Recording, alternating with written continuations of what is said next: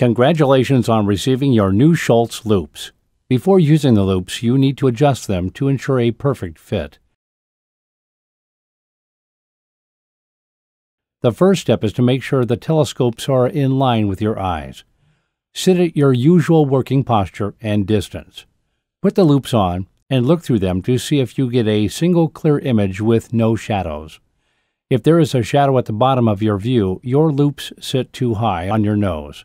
You need to open the nose pads to lower the loupes. If the shadow is at the top of your view, close the distance between the nose pads to make the loupes sit higher Using my fingers, I will adjust the nose pads until I get the telescopes to line up with my eyes. Next is to adjust the angle of declination. If you have the sports frames, you can adjust the declination by adjusting the hinge on the frame arm. Move them one at a time. Push them all the way up, then downward, counting the clicks to ensure the arms are set to the same angle.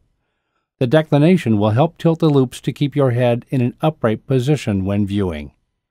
If you have the titanium framed glasses, bend the tip of the arm to move the loupes upward or bend them down to move the loupes downward. You will not break the titanium arms, and it may require a bit of force to move them. Next, adjust the earpieces so that when you look down, the loupes won't slide off. Using your fingers, Bend the ends of the arms inward. Test the fit by tilting your head down. The head strap can be fastened by inserting each earpiece into the opening in the strap. Push the wide cloth section past the arm tip and halfway down the arm. Then pull on the band to tighten. Next, place on your head and using the slider, push in the button and slide towards your head while holding onto the end of the strap.